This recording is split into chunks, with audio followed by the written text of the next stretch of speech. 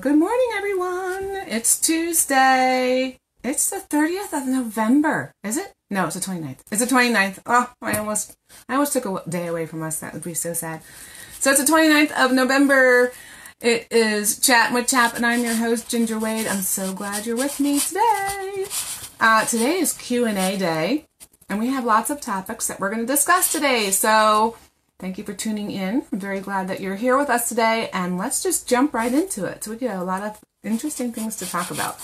So, uh, had lots of folks writing into me recently uh, asking about moving, like moving from out of state, uh, particularly South Carolina. So, I don't know, for some reason, everyone in South Carolina is coming to Pennsylvania. It's great. We welcome you. So, um, so moving in from out of state, they were asking about what was needed to do, and and I don't know how many of you have transferred within state, like from school district to school district, and I know there when you transfer within the state of Pennsylvania, you need to ask your superintendent to write you a, a letter of transfer 30 days before you move in. Um, that's within the state of Pennsylvania. Uh, so if you're homeschooling currently and you're going to be in this school district and you're going to be moving to this other school district, you do need to have a letter of transfer written by the superintendent. However, if you're moving in from out of state, everybody's laws are different. Okay, so there's no need to do that because everybody's laws are different regarding homeschooling throughout the union. So uh, if you're coming in from out of state, you just come on in and file your paperwork with the school district and off you go. So uh, that was the first question regarding to that that I received, and then second, um, oh, I talked about that the letter of of transfer coming from within the state. So those are two situations uh, with moving and dealing with homeschooling in Pennsylvania. Third, we did have someone write in and ask about high school students uh, who are coming in from out of state. And, you know, we have requirements listed in our law. So those of you who may not know, in other states, uh, they don't have requirements listed in their homeschool law the way we do. So you know how, sorry, that's my finger across the screen there. So you know how we, they list, you know, like you're supposed to cover English and math and science and whatever, it, it, but it doesn't give you specifics about how long and how much and all the stuff, but it says you should cover these topics. Well, there's other states that don't do that type of thing at all. Um, so coming in from another state, they're like, wow, how do I know that my student has everything they need to graduate? And thing is, with the Pennsylvania law, it does suggest those things, but it's up to the parent, the quantity, uh, the quality, and all those things. It is up to the parent to decide those things under the Pennsylvania law. So if you are coming in from out of state and you're concerned that your child has not hit all the requirements for Pennsylvania uh, law, you can have an evaluator look at their transcript from previous years and say, oh, yeah, you covered this here and this here. Oh, look, you covered health there and you covered arts and humanities here and, you know, yada, yada, and, you're good to go. You don't need to do that. If you need that peace of mind, you can have an evaluator help you with that. But as a parent, you can take our law and read that that paragraph in the law that says at the secondary level you should cover, and it says all those things you need to cover at some point in secondary uh, schooling, and then the English and math and science and history.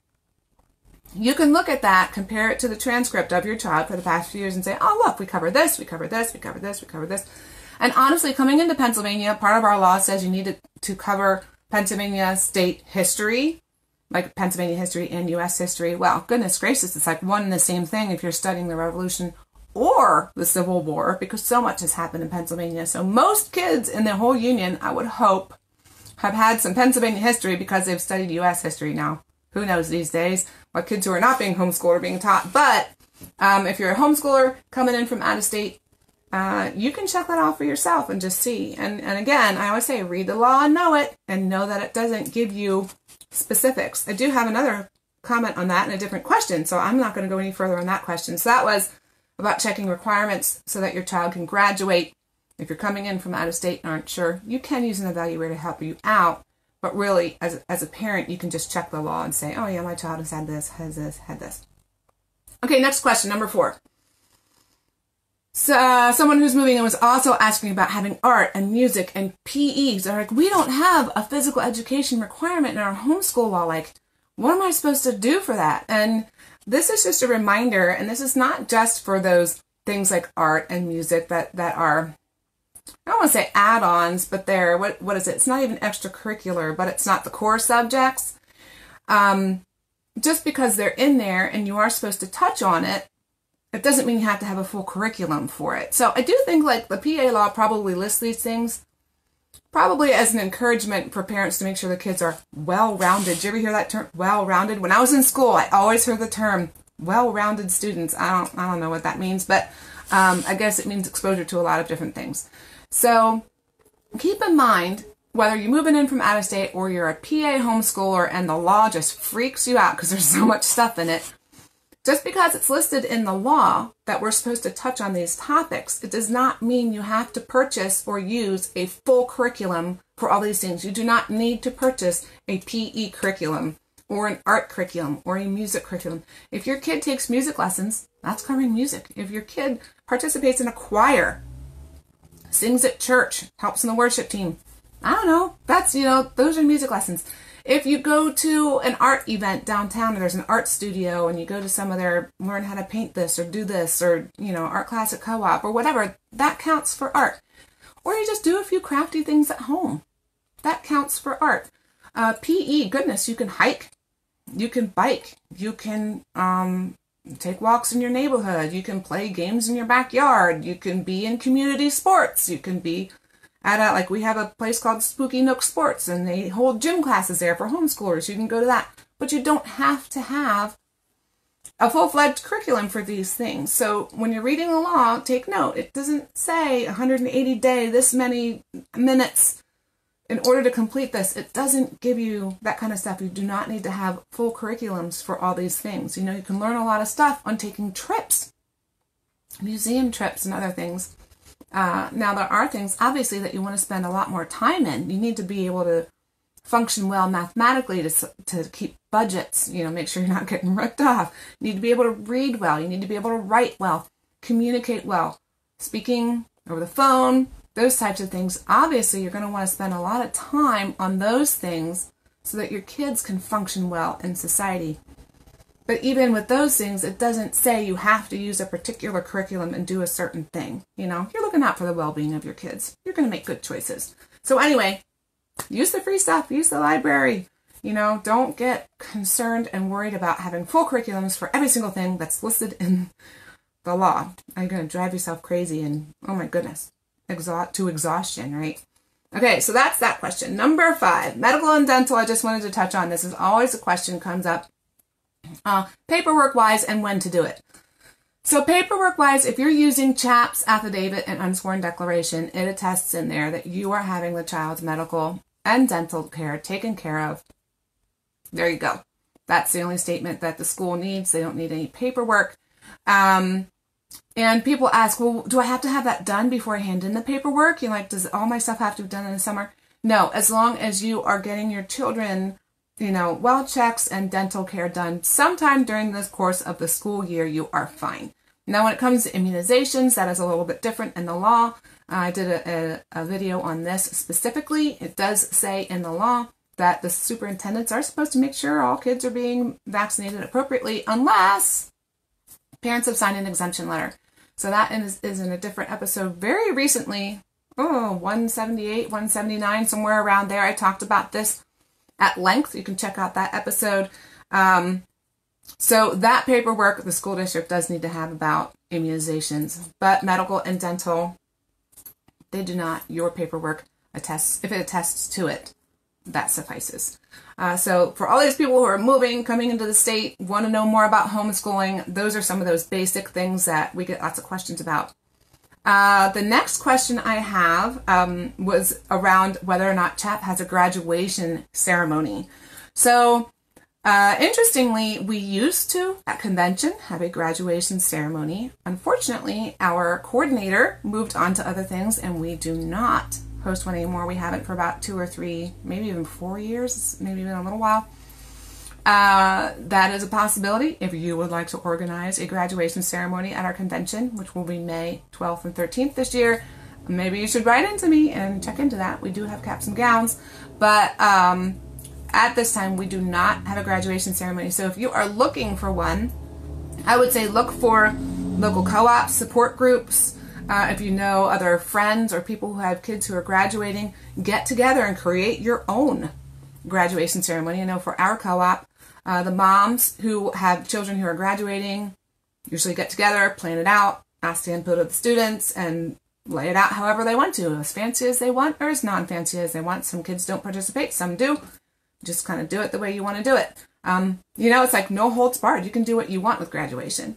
Uh, it's really neat. At our um, at our ceremonies that we do, we have the parents stand up and say something about each kid because it's a smaller group and you can do that. You can't do that with hundreds of kids. So it's really special because you get to hear the parents uh, speak about their children and or young adults, and uh, the kids can stand up and talk too if they want to. Uh, so it's really cool. Uh, there's also other uh, umbrella organizations like we have one called Chalk, which is like an umbrella organization over all the Lancaster area co-ops, and they hold a graduation ceremony which is bigger because it involves a whole bunch of co-ops. So um, you can look for organizations like that where you live if you're looking for a graduation. Okay, the next question we get a lot of questions come in about vendors for convention and what uh, who's going to be there and and can I be a vendor and all that kind of stuff. Well, if you are a vendor and you would like to be part of convention, I can say, and this is for anybody, go out to conv.chaponline.com. Uh, that's conv.chaponline.com that is our convention webpage, and it's not oh, registration's not open yet for vendors or for attendees. So, but you can sign up for our e-news to know when registration will be open if you would like to sign up to be considered to be a vendor. We did have someone write in and ask uh, if we're going to be limiting vendors again, and uh, if it's going to be like who's going to be there. Should I really sign up to come? Well, we never limit vendors. Uh, we want as many vendors to come as, as possible. The challenge is if it's on uh, another uh, convention date, like last year was during Virginia's. That was a challenge. We're really close to each other. Uh, that's not happening this year, which is great. Uh, another thing is if they don't, if they're on vacation or something happens in their family and they can't come to be a vendor, stuff like that happens. Maybe people don't go to conventions anymore. So we do never limit vendors in coming unless they cannot agree like to our statement of faith and what we stand for. Um, but as far as we don't we don't say oh we're only going to have 50 vendors and we stop at that. No we would like to have as many vendors as we can. Are there a lot of colleges? Yes there are a lot of colleges. Are we going to limit them? No because they want to come and talk to people too.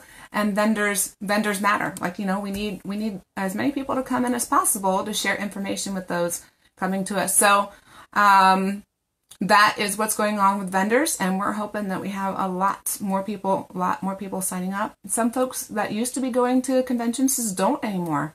So that's a change and that's challenging. But rest assured we are trying to bring in as many as possible. And uh, if you don't want to sign up early because you don't think there's not going to be vendors that, that you want you don't have to sign up at all. You can come unregistered to convention and walk in at the door and register there. That would be fine but I encourage people to consider coming anyway because when you support uh, CHAP in that way, we can continue to do this and grow the convention again and continue to bring these resources to people. So your support of CHAP is really important. So that brings me to uh, the final question of the day. I got a lot of questions about membership this uh, month. And CHAP did have a membership. We are actually moving away from a membership to a partnership donation model for donations. And it's perfect when I'm talking about this today because it's Giving Tuesday. We've had our Black Friday and our Cyber Monday. And now it's Giving Tuesday. And I know you, some of you saw our post out there that Courtney put out there about uh, donating. You can just scroll down the feed a little bit and you will see that post. So Giving Tuesday is where we're at. Um, when you donate to CHAP, what you're doing is making it possible for us to continue to be here as a resource for you and for other homeschoolers. It enables us to continue doing convention and to consider doing other events like a Learning Differences Conference and marriage events and things like that. So uh, you can go to chaponline.com uh, slash donate. That is our uh, link. Let's see if I can find it here. There it is. I'm going to show it. There we go. So there's our donate to CHAP link that you can go to and check out. And uh, there's three options when you do that. So you can support us through the annual fund, and that is the fund that enables us to continue to have convention, to have other events um, you, and legis- do legislative work. You can also give to the scholarship fund, and that enables us to continue to give scholarships to graduating seniors every year at convention. And there's a grant through the Homeschool uh, uh, CHAP Foundation. So the cool thing about the CHAP Foundation is when you are a struggling homeschool family, something has happened to you, medical need, you had a fire, uh, lost a job, something where you're really struggling to continue your homeschooling financially, you can write into us and request a grant and we can give you some money to help you continue on your homeschooling journey. So uh, that is a really awesome way to bless homeschool families so that they can continue to homeschool their children and and train them in the way that God has asked them to train their children. So those are ways you can support us so that we can continue to support the homeschooling community. There's also ways to give support that's not monetary, and that's through time and talent. Time is very precious. Don't we all know it? And there, everyone has a talent, everyone has a gift. And CHAP is always looking for volunteers, people who are willing to share their time and talent in order to promote the homeschool message throughout the state of Pennsylvania and beyond. So, uh, specifically, we are looking for a registration coordinator for the convention. This involves uh, obviously the registration process. You know, it includes some IT stuff with the process of registering online and dealing with those things. Um, we're also looking for an e-news editor. So if you're signed up for our e-news, you get those little letters in your in your e- inbox every Monday. Uh, we're looking for someone who would like to coordinate those things with articles and information. Uh, we're building a legislative team. Anyone who would like to lobby down in Harrisburg uh, or hold lobby days, those sorts of things. I talked about that a few episodes ago too. Uh, there's also other ways to volunteer at convention, and those are ways uh, that would just be a one, two, or three day commitment if you're not looking to do a year round commitment. Uh, and those will come out with registration at convention. And we're also looking for mentors. Uh, we are building our mentor network. And if you go to chaponline.com resources slash resources, you will see the mentor menu. You can check that out. And you can sign up to be someone who can be there to support moms who really need uh, just a listening ear and an understanding friend to lend support in their homeschool journey. So these are all ways that are needed, special, and will certainly bless the homeschool community. So as you're considering where to give this Tuesday, consider CHAP. And if you'd like to give of time and talents, please write into us. You can comment below. You can write into us on our um, contact form on chaponline.com or message us here at Facebook. We would love to hear from you. Uh, those are all the questions I had for this month. If you do have other questions, please feel free to write into us. I love when I get those questions and I can help people out. And some of those things, like with moving in from out of state, I got to learn more about the law and how that functions too. So I'm I like that. You know, when I don't have the answers, I can learn them too, and I can share them with you. So um, I hope you've had a great wonderful Thanksgiving. I hope you spent time to teach your kids about gratitude and be thankful. You know, I had a really good lesson hit me on Sunday night about having gratitude. I'm in a little bit of a hard decision situation with some things in my life, and I'm like, what is the right choice? I just don't know which way to go here. And it hit me. We had a sermon about gratitude on Sunday too, and and I was like, wow, I should really be thankful for this situation and thankful uh, for this person in particular who's trying to help me give me information through this decision making process.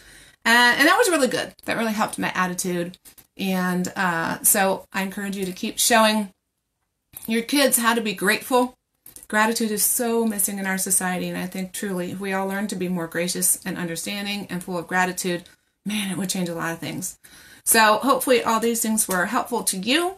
Thank you so much for tuning in today. Next week, Actually, I can't think of what the topic's going to be off the top of my head. It might be multi-generational learning, maybe. Hmm, that's an interesting, interesting topic if you've never thought of it. So I hope you enjoy continuing to train your children to follow Christ in all of life. Thank you so much for tuning in.